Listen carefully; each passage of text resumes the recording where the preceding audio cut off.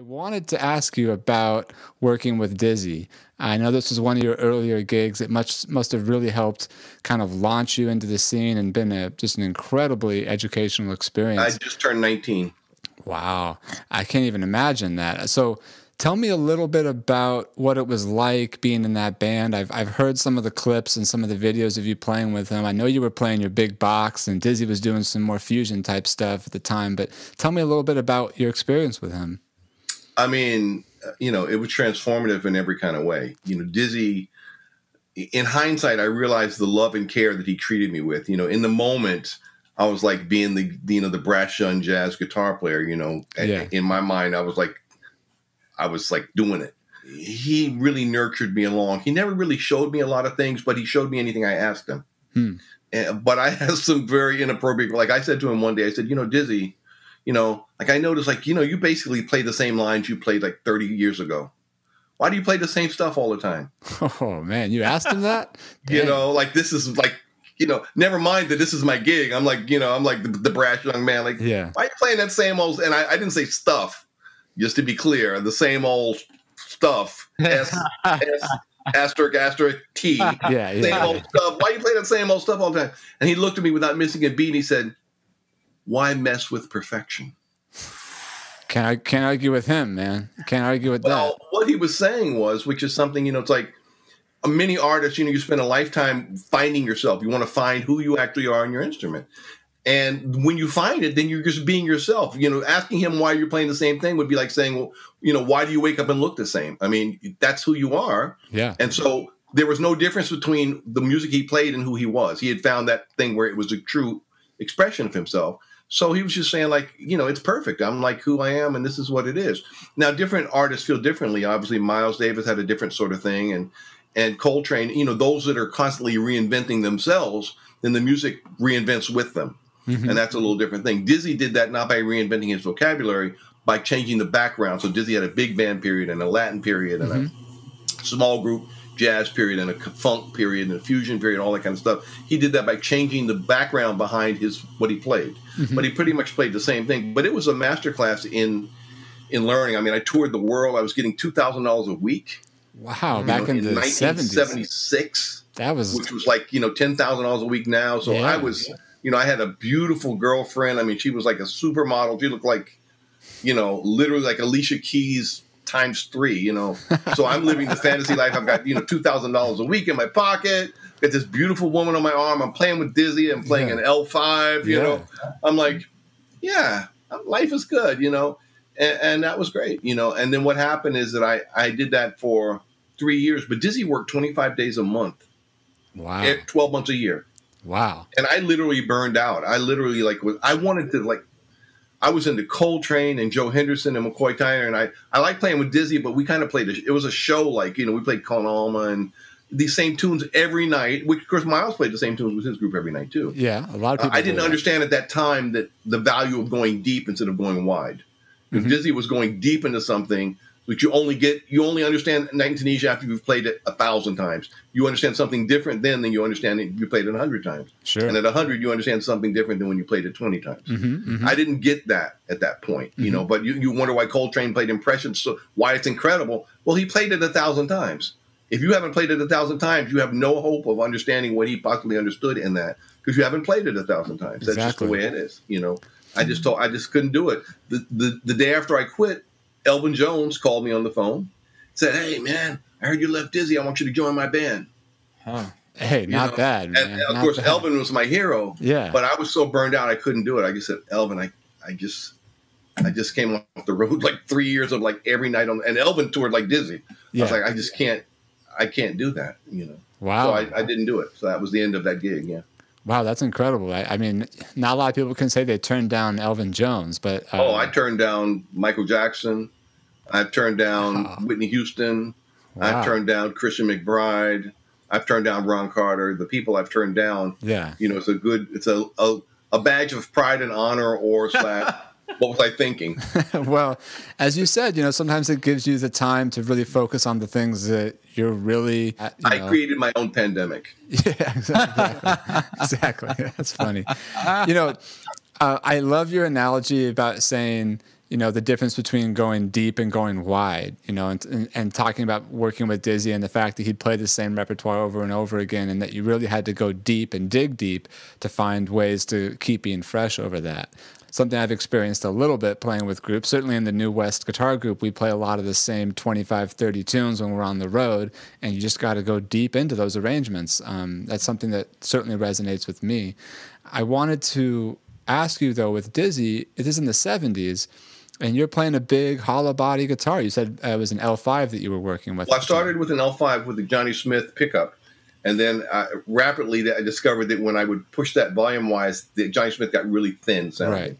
Okay. So then I bought a Guild X500. I've seen and that you, was the main axe I used with Dizzy all that time. Yeah, I've seen you with the Guild. I've seen some videos of that, and uh, man, it sounds great. And one of my questions, is a guy that plays a lot of the bigger boxes a lot, did you struggle? You know, because um, it can be hard to get those guitars to cut. And a lot of guys at that time, you know, people like Scofield were using thinner body guitars. Mike Stern, they're using solid bodies, they're using semi hollows. So, what was it for you? Why did you stick with the hollow body when you probably could have used a, a telly or you could have used a semi hollow? Why, why did you stick with the big box? Well, because it, it allowed me to do one like when I teach, you know, I spent years at Juilliard, Manhattan School of Music, and Berklee, mm-hmm. and all over the world teaching. Mm-hmm. mm-hmm. But I teach five things, you know, and the five things I teach are, you know, the linear approach, the harmonic approach, the rhythmic approach, the dynamic approach, and your sound. Mm-hmm. mm-hmm. Those are the areas that I'm teaching that I look for students and people. So I was aware of that then, and what I, you know, what the X500 because it was was a laminated top although it didn't have a block in it, it gave me enough sound because it was laminated and it was pretty it was a heavy guitar mm-hmm. that it gave me enough sort of punch that if i played it through the right amplifier at that time i was using generally a polytone 104 mm-hmm. or i would use sometimes a fender twin if they didn't have a polytone 104 mm-hmm. um, that it gave me the sound i was i was looking for because I, I wasn't willing to sacrifice the tone you got to remember the dizzy although wanting to do modern music was a product of the era where tone mattered. Mm-hmm. You know, where the sound of the music, the sound of your instrument was part of the baked in. Like, I expect you to have a good sound if you're playing in my band. I asked Dizzy one time early on when I joined this band. I said, you know, we were playing something. I said, well, you know, what do you want me to play? He said, listen, you're the guitar player. If I have to tell you what to play, then I'm the guitar player, and I don't need you in the band. Deep, yeah. like, okay, I, I get your point. I, I, guess I know what to play all of a sudden. You know, yeah, I get it. Suddenly, I know exactly what to do. I know? like that. Um, but so no, Dizzy value tone. Yeah. You know, he he never suspended his values of tone and dynamics. You know that that it mattered. The I, the goal was not to play everything even. The goal was to play things in a human way, the way that the voice inflects. You want to inflect the notes like that, mm-hmm. you know. Yeah. And so I, I I believed in that too. And my teacher had taught me that you know that really matters. So I, I did that later on. I did I did play a, uh, a semi hollow, not with him though. But it, you know, an interesting story about the semi hollow. I I gave it a try one time. We were playing at a club called um, the Parisian Room in Los Angeles, mm-hmm. and I had bought there. Someone had was like some music store had it on sale for like three hundred dollars.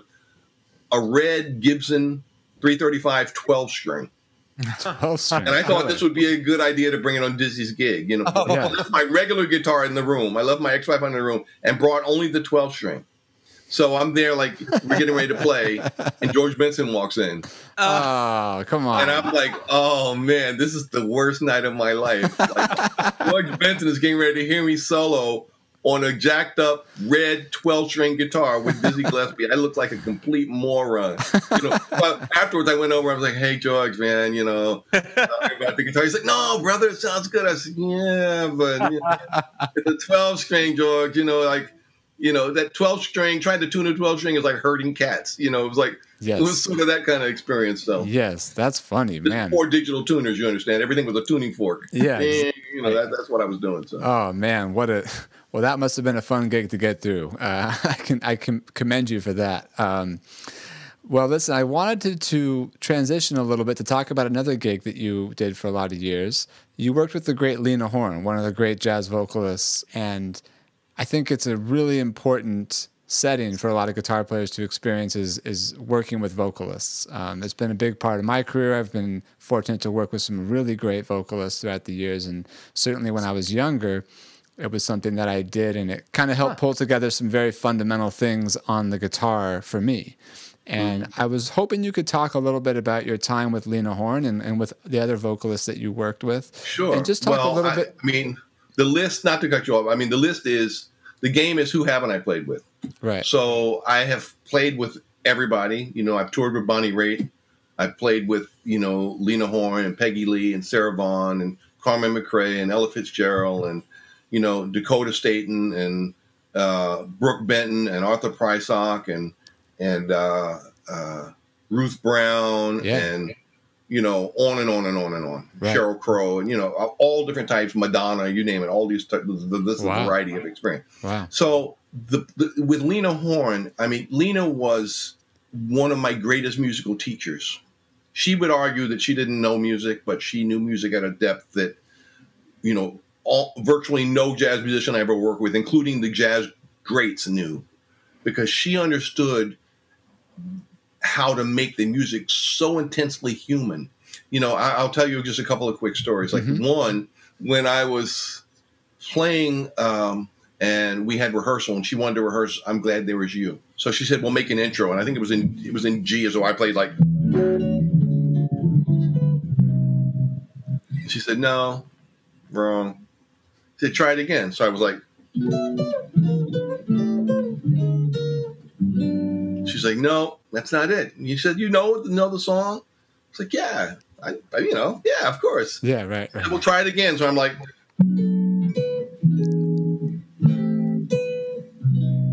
She's like, "No, that's not it." She said, "Let me ask you a question, Rodney. Uh, are the chords you're playing? Do they, do they take into account the first breath I'm going to take before I start the lyric? Are you leading me into the breath I take? Or are you starting the song? Like, are you leading me into my first entrance into the song, or are you leading me? Is it starting the song and I'm not even there? Which right. is it? Right, right. She said, "Do your do your chords match the meaning of the words? If you think of the whole first verse and what it's conveying, are your chords implying anything about that? Are they saying anything about what that means, what the intention of the song is? Mm-hmm. Mm-hmm. Never mind the verse, you know." And I was like, no. She said, well, think about that and try it again. And I play something like this.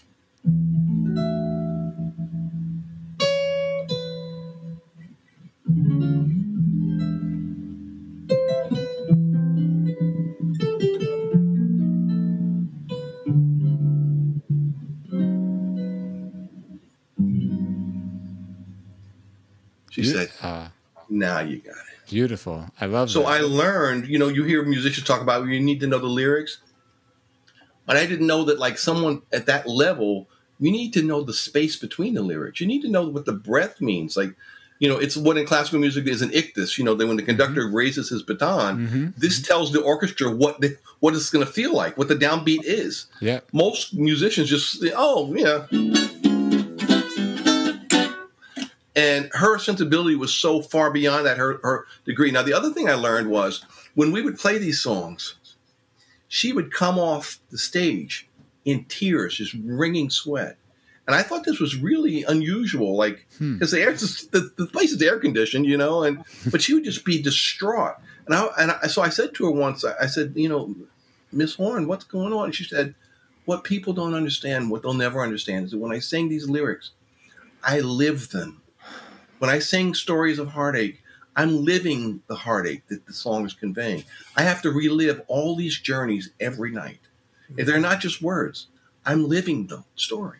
Yeah. And so when I sing these songs of longing and heartache and love lost, I'm living that every night. He said, and sometimes it's just too much. And and that's why she was so great. I mean, well, that's right. One of the things that I always respond to when when hearing great uh, musicians of any instrument, but certainly a vocalist is is you want to you want to believe that they really mean and feel what they're singing, and, and you know uh, that's something that she certainly embodied. And wow, the lessons that you um, have mentioned here that you learned from her. That I mean, these are just nuggets of wisdom that I hope all of our listeners are taking in and trying to digest because if you're a guitar player and, and you have some chances to work with a vocalist, you know, step one here is to really understand the lyric. Don't just know the lyric and recite it, but understand it. uh, have some sort of reference of the greats that have sung the song so you really know the phrases with the melody and the breath between the melody like you're talking about rodney. So and if you if you want to play for a singer and play with anybody if you want to play jazz at the highest level yeah. you've got to be willing to give. Yeah. you've got to be willing to